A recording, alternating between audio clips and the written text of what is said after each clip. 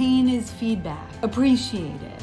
I say that understanding that it is so hard to appreciate. We always want to be feeling our best. We never want to be sitting on the bench, so to speak. But sometimes that's just you know what we have to do. For coach, the pain helps her help us. When you feel that pain, you express it to coach.